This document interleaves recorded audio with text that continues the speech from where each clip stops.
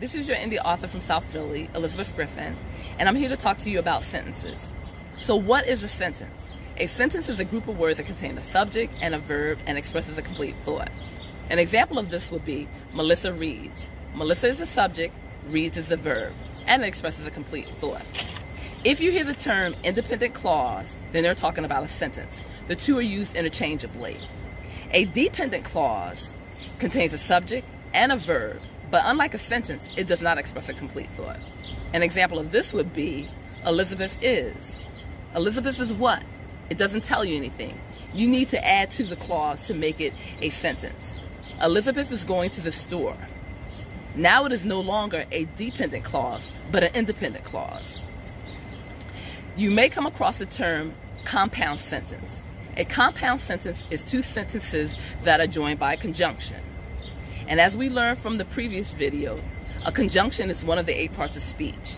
And as a refresher, I'm going to list them again for you. The eight parts of speech are noun, pronoun, verb, adverb, adjective, conjunction, interjection, and preposition. You can check out my previous video to get a full definition of those uh, parts of speech. You may also come across something called a complex sentence. A complex sentence is an independent clause and a dependent clause. And you join those two together with words like because or for. The last type of sentence is a compound complex sentence. And that's fun. A compound complex sentence has two sentences joined by a conjunction, which is and, but, nor, for. And in addition to that, you can have one or two dependent clauses. And all of that makes up a compound complex sentence.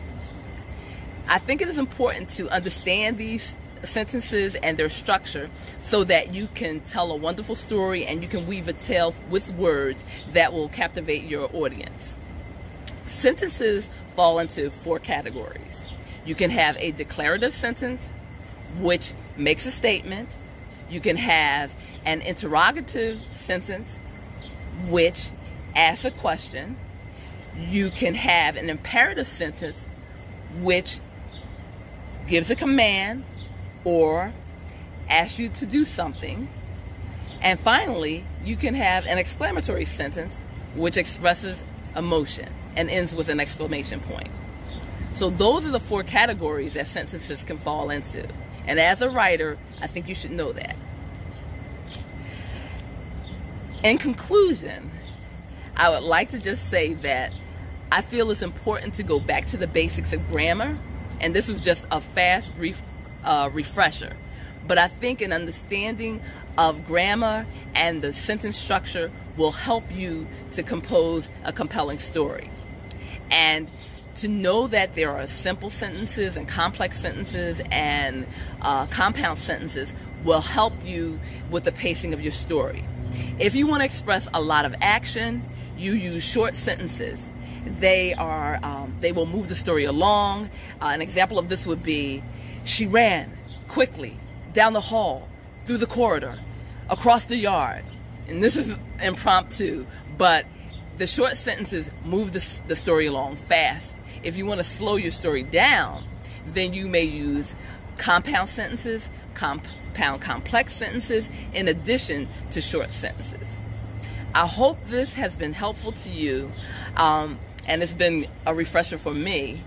And uh, please support me and continue to follow me on YouTube.